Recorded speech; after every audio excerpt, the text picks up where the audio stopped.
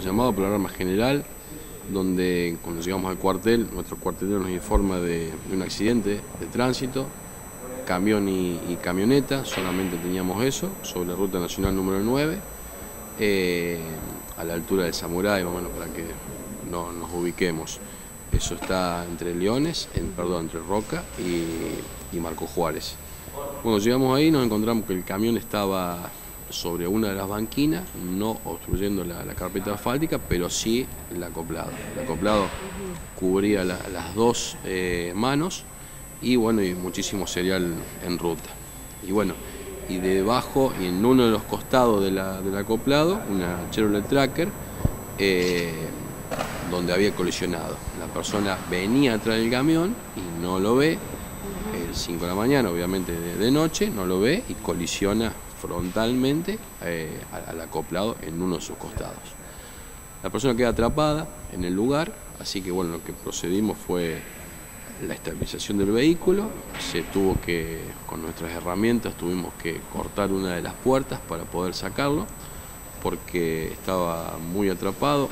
En la parte del conductor estaba apoyado al acoplado y el único acceso que teníamos era por la puerta del acompañante. Así que tuvimos que sacar la puerta del acompañante, abrirla con las herramientas nuestras para poder crear ese acceso, para ingresar los bomberos, para poner las medidas mínimas de seguridad para poder trasladar al hospital Abel de. Y bueno, entonces todo eso nos llevó aproximadamente unos 10-15 minutos, pero después el trabajo mayor eh, se origina después, donde hay que remover, eh, en este caso, el acoplado y sacar todo en ruta para que la vía sea transitable y segura nuevamente.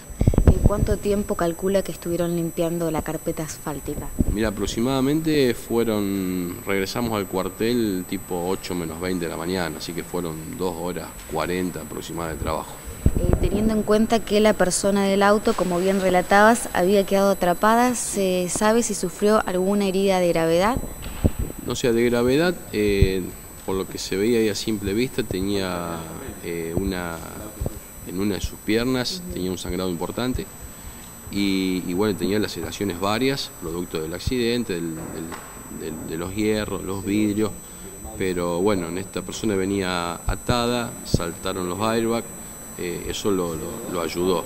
No sé el parte médico porque fue muy reciente, esto fue hace una hora atrás. Eh, no sé cómo estará en este momento, pero calculamos que está bien, o sea, no, no tenía, siempre estuvo consciente, siempre respondió eh, bien, así que calculamos que está bien, gracias a Dios.